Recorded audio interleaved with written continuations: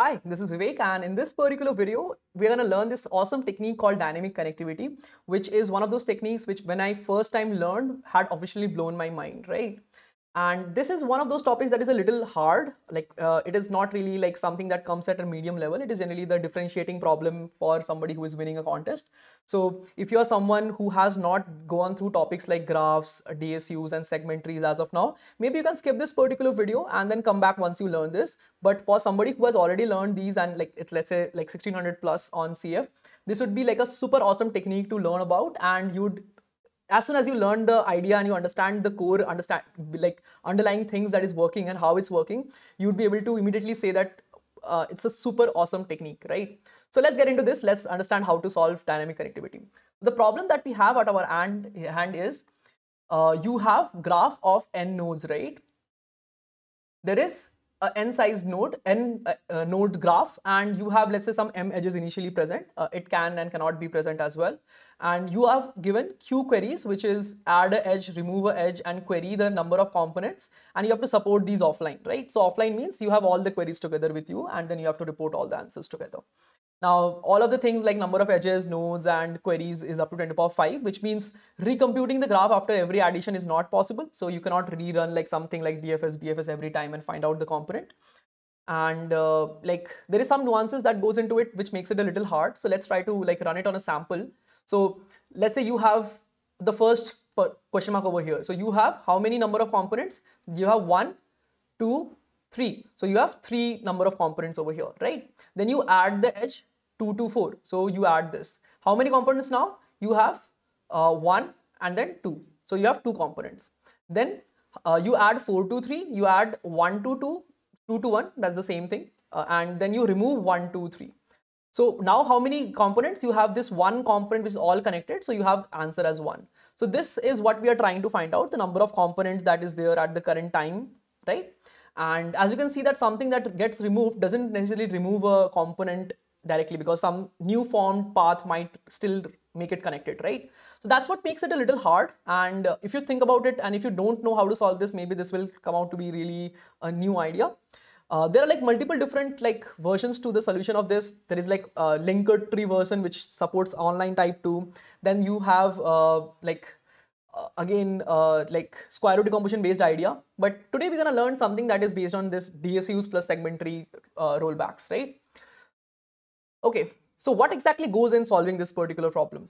I'm not going to wait for you to think about the solution because I feel uh, the first time you're learning this, um, you would not be able to know the idea directly. So it's it's first time when you learn it and then you can think about other problems in, in a similar way. I have solved similar problems with say, let's say with something called a XOR space on segment tree and like some data structure rolling back after you go into some nodes and stuff like that. So this idea is very, very like reusable. But the first time you're learning, I don't think somebody can directly reduce this uh, on the go if you can then again that's up to you i mean then you are like already super awesome but for the people like me who are learning these techniques the first thing that you have to do is conversion of this particular process into range events what exactly are we, are we kind of dealing with over here so there are these queries right each query either like takes and finds out some question or it changes the configuration of graph so there is this initial graph which is present over here right after that, there is a query happening, then some addition happening, then some query happening, then some addition happening, and so on, right?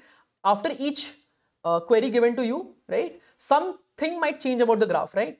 So I can say my graph is at configuration 0 over here. Then this is, so I will say configuration 0, configuration 1, configuration 2, configuration 3. After every query, there is a new configuration of the graph. It might or might not be same as the previous one, but that's all there is, right? 5, C6, and then at the end, there is C7, right?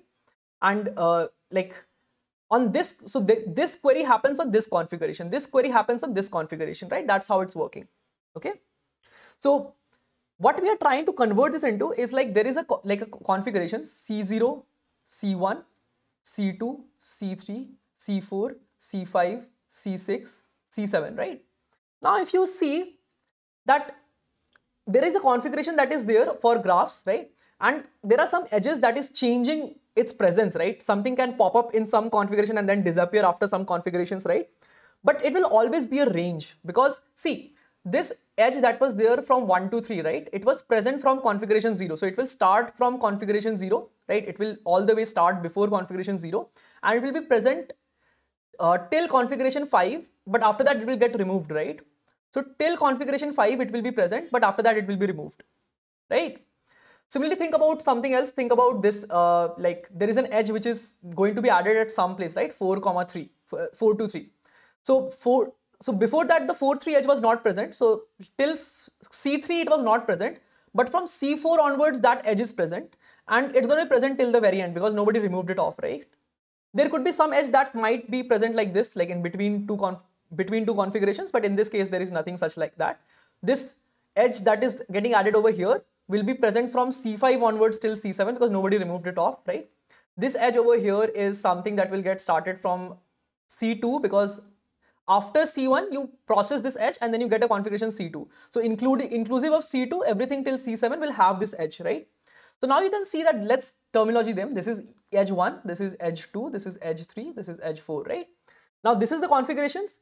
I can simply say edge 1 is active in configuration 0 to configuration 5. Edge 2 over here is present from configuration 2 to configuration 7. Edge 3 is kind of present over here from configuration 4, edge 3 and this is edge 4, right? This is how they are present. So each edge has a range in which it's active and suppose we have to find out for a particular configuration what is the num what is the component. So it's like if you make a line over here, right? Whichever edges are getting hit, E3, E2, E1, you can see that when you are at configuration 4, uh, you have not removed 1, 3, you have added 4, 3 and you have added 2, 4. So these three edges are active and these edges are not active. So now what we have converted the problem into is at every configuration, you know which is active, which is not, right? And you have to find out, uh, okay, out of the things that are active, what will be the number of components that we get, right? So this is the first conversion that from this problem of graphs and stuff, we converted the presence of edge into a range over configurations. This is the first conversion that you have to understand that these are like just timestamps where the configuration is there and you would have uh, certain uh, like uh, like let's say changes happening over intervals that some edge is present in this interval, something like this. So this is a transformation of problem essentially. Uh, what about these queries? Like the edges that are getting added and subtracted, you can kind of find out in which interval it's present, right? Uh, for queries, like let's say you add, you get a query over here. What's it asking is like number of components in C2, right? So if you can find out the number of components at C2, that is the answer for query that happens over here, right? So that's how you can also answer queries if you can find out at each configuration what is the number of components, right? That's what we are trying to do. At each configuration, we will try to find out what is the number of components, right? In this whole conversion, conversion, okay? Great. So I'm gonna now like kind of go to the next idea, which is using DSU with rollback. What is DSU with rollback? So if you have not seen videos on my channel, I have created a four video series on DSUs, which like covers the basic DSU. But again, after that, there is three more ideas on DSU, like covering DSU with rollback as well. The idea is in DSUs, you, you use uh, two things, which is path compression and rank compression, right? And essentially what you can do is you can kind of take uh, like chains over here, like DSUs look something like this, right? And you can maybe add an edge, you can add a link between two things, like you can set the parent for a node over here. And then if you want to revert back the last move, which is called as rollback, right? Whatever you added last, whatever merge you merge you did in the last move, if you want to revert that, you can do that very efficiently in DSUs too, right? That is the idea of DSU with rollback. So in that, what we do is we keep the, we don't do the path compression and we do the rank compression only, right? In that case, it's like the smaller one getting added like this and when you have to revert, just remove this link. Set its parent again to let's say itself, something like this, right? So that is like reverting the operation of like setting this, right? So if you just use rank compression and not use, use path compression, uh, the complexity remains like every operation merge and find becomes order log n, right? Which is fine, right? If you use both of them, you have order Ackermann function of n, right? That is how the complexities work. So uh, individually, each one of them gives you order log n. If you use both of them, it's Ackermann function of n. But since we are using only rank compression when you are using rollback and not path compression, we are going to be uh, getting an order log n complexity with adding some edge and then reverting it back. Note that we cannot remove any edge. It has to be the last edge that you added to the structure. But still, that's good, right? That is something we can do. So that is something that DSU with rollback is supporting for you that you have a graph, right? You have, let's say, a graph So if you get an edge, you can connect them and then you can also maintain in the DSU the number of components that initially the count was n. As soon as the merge happens successfully, which means there is a parent change, you can decrease this with 1. And then when you revert back this, you increase it by 1, like you convert it back to n, something like that. So you can maintain that like uh, the number of components using in a DSU with only merges and single reverts, the last rollbacks, right? So that is something that is possible, okay? Don't worry, I'm going to explain that in the code too. Uh, this is a fairly difficult problem, so I will explain the coding part of this, what, what the code that I wrote um, like many years ago. But I'm going to try and explain you guys the idea too. And once you see that, you will be able to clearly see how this works. If you have not learned this idea, please go back and see the DSU series that has all these interesting ideas on DSUs that you can use in some, some particular problem, right? Now, the third main idea is DFS on a segment tree of events, right? The, the, we, we created the configuration chain and then we had DF, we will do DFS on that particular configuration segment tree. This is the most beautiful idea of this problem. And I, I think I cannot really like structure, structure it up without showing you an example. So let's kind of solve this problem now with all these three core actions, core ideas in action, right? So uh, remember what we did? We uh, say that there is like from 0 till 7, this is 6, this is 5, 4, 3, 2, 1, right? There is these things over here. And uh, you can say that this first edge this is e1 this is e2 this is e3 this is e uh, this is e4 right? This is e1 only but getting removed now. Let's say the same edge comes again you will mark it as e5 uh, e, e5 right? That is not a problem. That those those things can be handled separately i'm not talking about edge cases in this problem though right you can handle those things while implementing things so what we have now is you have c uh, c0 c1 C2, C3, C4, C5, C6, C7, right?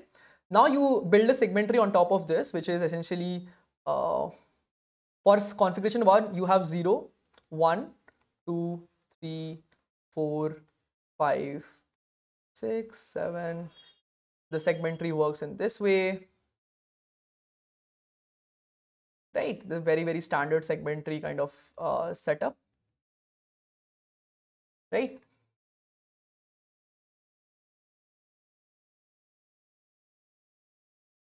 A very, very standard segment tree uh, where you have 0 to 3, 4 to 7, right? Now, remember each edge has an interval, right? E1 has an interval from 0 to, it got removed after 5. So it will be active till C5, right? You can see that uh, this edge is active from configuration 2 to configuration 7. Next edge is active from configuration 4 to configuration 7 and so on, right? Uh, I'm going to just uh, like use a different color from configuration 4 till configuration 7. This is uh, nothing but E3.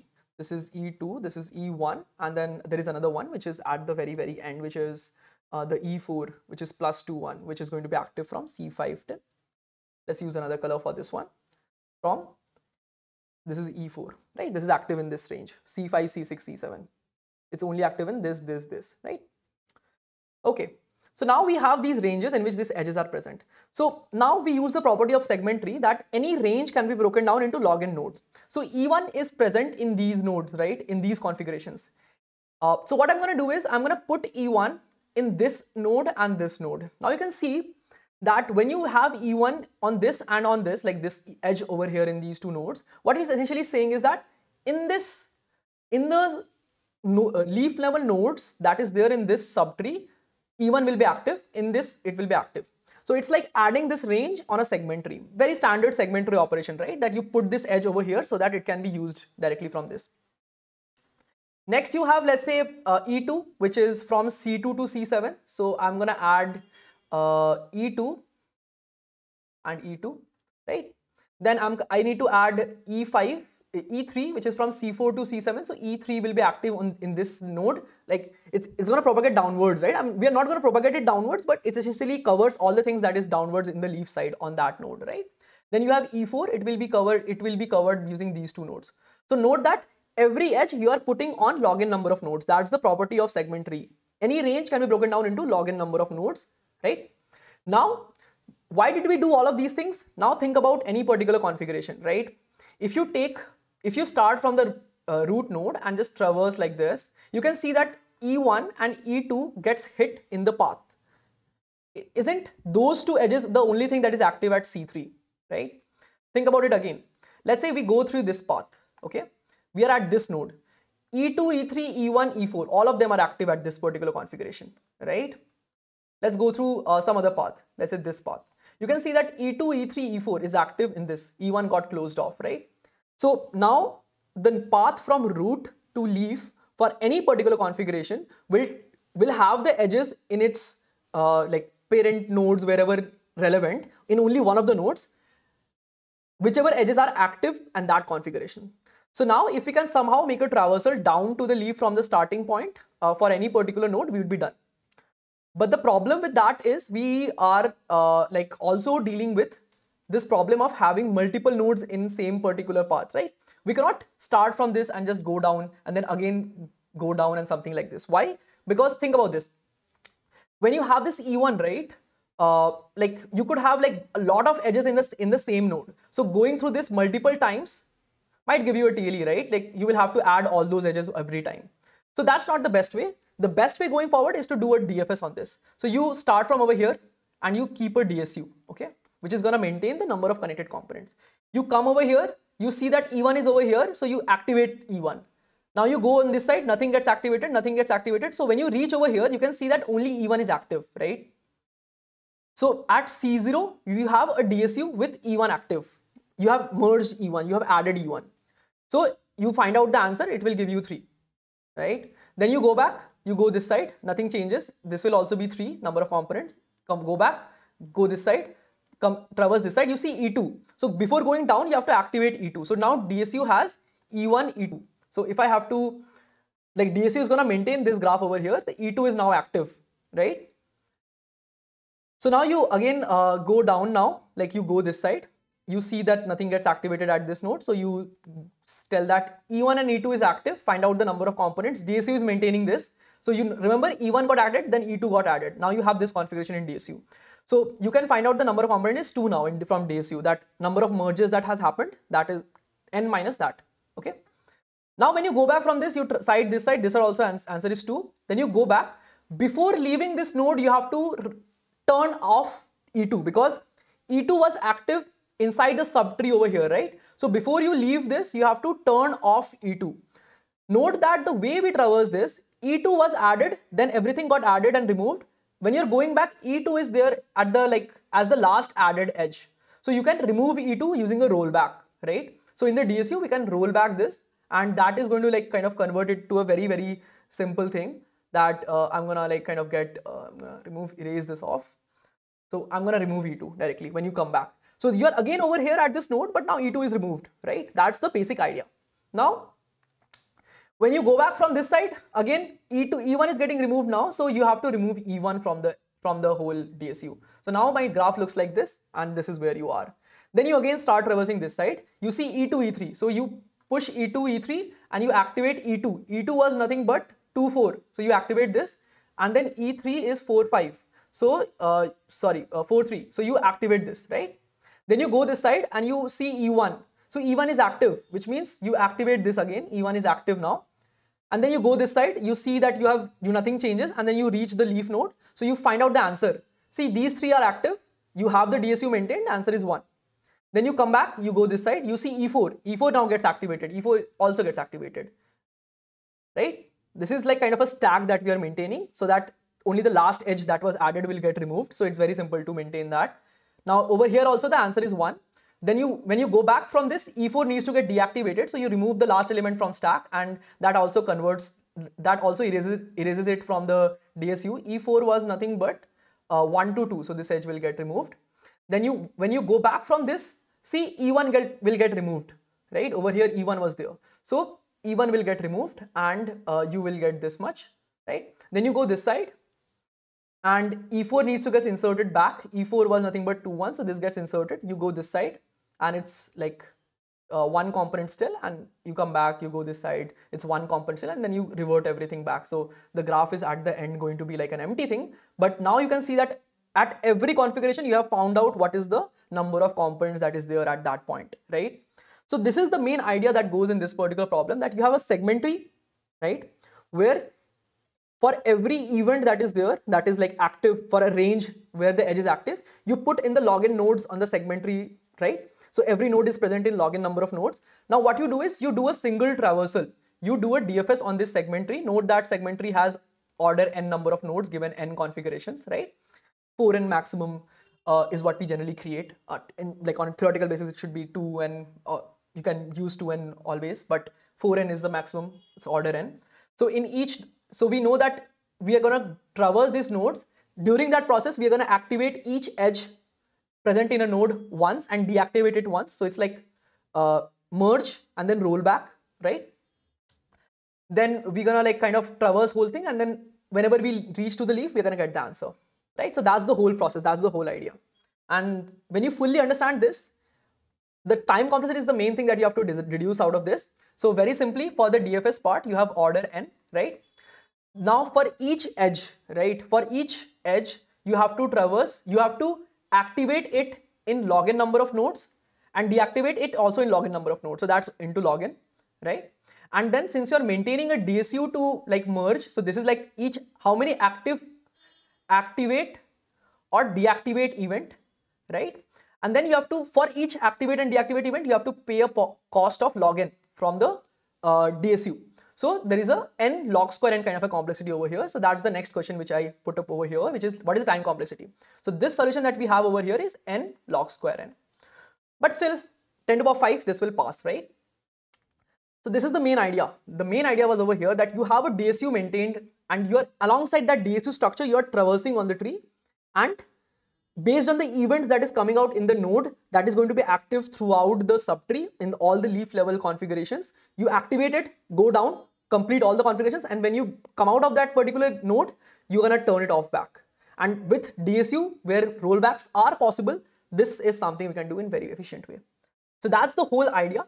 In the next part, I'm going to explain you like a little bit by going through my code and how you can implement this neatly. But again, uh, if you want, this is something that is a good exercise. I have linked down a problem to kind of code below uh, in the descriptions. Go through that particular problem, code this up. It will be a very good coding exercise. But again, if you want to stick around and like see a little bit on how I implemented this uh, back very two, three years back. So I'm going to go through that code itself and explain you some of my ideas on how you can implement this neatly, right? So let's move into that particular section. Okay, so if you search for dynamic connectivity, the best blog that you will get is this one. And this is the place where I learned it from. Uh, essentially, like there is this comment which is which describes the idea that we talked about. But I think uh, for somebody who is learning for the first time, this is like not that use, like friendly, right? So um, like I think once you see the video, it, it should be fairly straightforward to understand what these is talking about. And there is this really good training contest that you can kind of attempt, which is this one. And I'm going to kind of explain my code to this connect and disconnects problem. Though I will not link the code in, in the description, I will encourage you guys to maybe see the video and understand things and then code it on your own because then only you're going to retain the idea for a very long time. Also, you can see other submission on this particular problem. So that's never a problem, right? So let's get into the code part. So over here, we're gonna just quickly go through some like first top level stuff. Like there is this DSU with rollback possibility where I maintain the parent and ranks for rank compression, very simple. But essentially I also maintain a stack, which is which edges to revert, right? So uh, essentially when you revert back, rank of something decreases, right? And the parent of something gets changed. So that's what I maintain in stack. So when I'm reverting it back, the stack kind of pops back. Uh, I'm going to explain that when, when, we, when I go through the code, but just understand high level first and then we're going to deep dive. Uh, we have a segment tree, very simple. Each segment tree node is contains an edge that between which edge you are adding, right? So, and then we do a DFS on this on this segment tree, right? Uh, IDLR standard DFS on on a segment tree structure. So you have n nodes and k uh, like queries. So you build uh, like a normal like DSU over here current union find, uh, initialize it with n uh, possibilities, and then you have a mapping that which one got active and deactivated. So, and initially memset, uh, it's just empty queries. Then you have a bunch of queries coming in like A, B, normalize that and then put it into map that it, it, it got added at I. And if you have a particular like A to B, which is uh, present, right? Which is coming in. If this edge is coming in then we have to update that from this from whatever whatever place it was last added at right? Till this particular point we have to update that this edge is present. After that it will not be present right? And if it is not present if it is present then remove it off because now from now on this edge is no longer available and then we just put some queries and stuff. So this is just an old implementation. You can write your own. But the main idea i want to talk about is how do you update stuff? So for every like thing that is still present at the end you have to update it from the range where it is present till the very end k right? All queries k queries. And then you build a like there are k queries so 0 to k configuration 0 to configuration k. So all of these them are present from this to add all the end configuration and then you dfs on it right uh, finally you sort it sort the answers based on offline query id and then report them up right? That's a very very standard offlining technique. Now when you dfs uh, you're going to go through the current node. You go through all of the edges that are so let's let's kind of go through this addition where you add the edge in the segment tree. So you basically go through all the in this range L to LQ to RQ you have to add the edge. So you go to any node which is minimally covering the segment and then you add the edge in that uh, node and then directly return so that you don't go inside the subtree because every node has that every final configuration that leaves have that very standard segment tree code and then DFS is basically you go through the grow from the start, right? You maintain previous is nothing but when you enter this node, how many like edges have you currently there in the in your current union find? So it's like the position in stack, right? Then you go ahead and add all the edges that is getting activated over here, right? If it's a leaf node, then finally like print out any answer if it's required, right? I've just like kind of done it that way. Uh, you can find it for all then and then go through queries and report the answer. That's also another way. And then if it's not the leaf, then uh, divide on both the sides and then find the answer, like just standard DFS. And before you return back from this, please make sure that whatever you have, like the previous configuration was over here.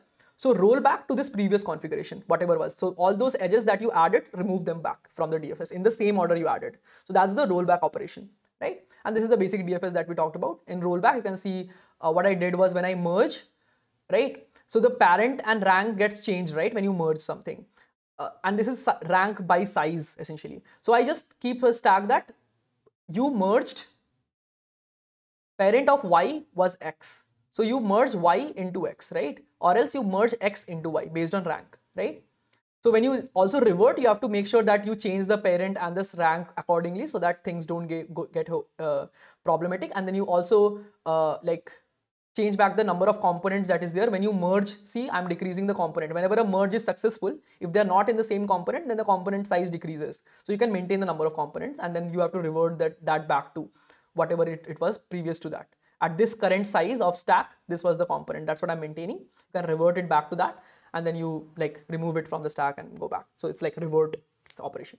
So that's how you can code this up. You can uh, write bunch of codes on your own, see how you can write this up, play around with the code and see this is a very good exercise to code as well. And while you are code, you will understand each and every nuance that we talked about. But a very interesting idea. If you know all these topics, definitely go ahead and code this up. And that will be all from my side in this video. Definitely let me know in the comments what more small topic that I can pick up because as I have said in previous videos too, I'm trying to take up really good interesting ideas that I feel should be covered in, in a video neatly.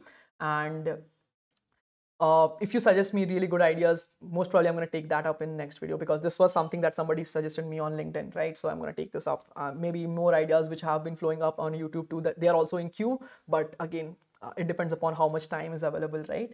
So we'll keep creating more and more content, but from your side, you can support making more such contents with a like and subscribe. If you don't like some video at any point, I mean, always unsubscribe. So definitely subscribe to the channel. You will keep only learn new things. And that will be all from my side in this video. See you all in the next one. Bye-bye.